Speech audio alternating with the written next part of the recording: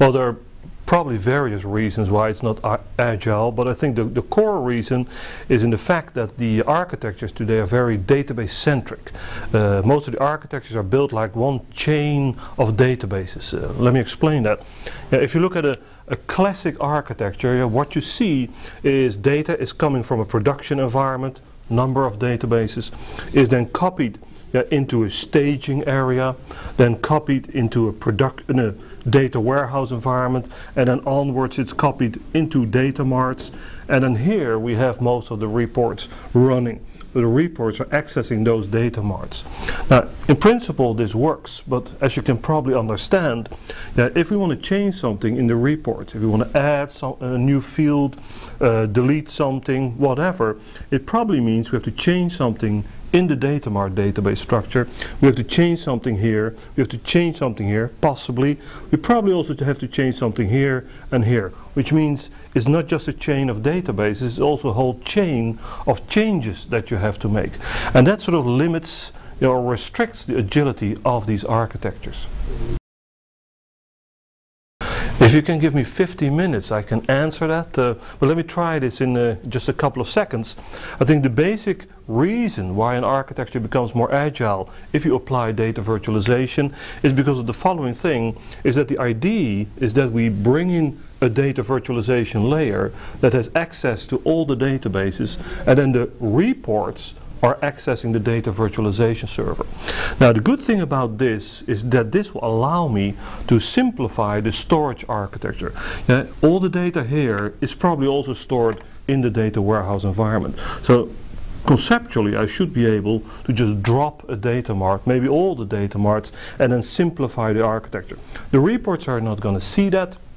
They're accessing the data virtualization server, but I can simplify. And then it's very easy. The moment you simplify, you get more agility. There is less to change if you want to implement a certain change.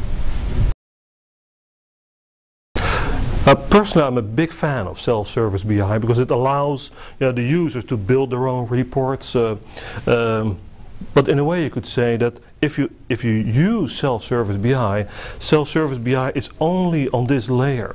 And a BI architecture consists of a reporting layer but also a storage layer. Yeah, if the storage layer is not really flexible, then the self-serviceness of these are is still limited. Uh, so if we add data virtualization, what you will see is that also the storage level your layer becomes flexible. It will be a great combination of the two. Uh, sometimes what we say is that by adding data virtualization, yeah, we change self-service BI in managed self-service BI. Well, if we would not use data virtualization and we want to do sandboxing, what that normally means is that we have to create a separate environment, a separate database that we load with data probably coming from the data warehouse. And then we allow the data scientist, the analyst, the business user to play with that data. But building a data mart is really building a database. Uh, we have to install that, we have to load that with data. If the uh, scientists suddenly want to have more data, that's a lot of work. Uh, if we use data virtualization, what we're going to do is we're going to build a virtual yeah, data mart for them. And virtual means that's a lot easier to build, uh, cost less time, cost less money, is also easier to change. So it's like moving from a physical sandbox to a virtual sandbox is a lot more flexible. Good question. Uh, collaboration of the two now, yeah, in a classic architecture, um, we don't really collaborate. Uh, what we do is that the business users ask for something and then we go off and we build something and a few weeks later there is a solution and then hopefully it's a solution that the business user wants. Uh, the moment we bring in data virtualization what we can really do is sort of sit together.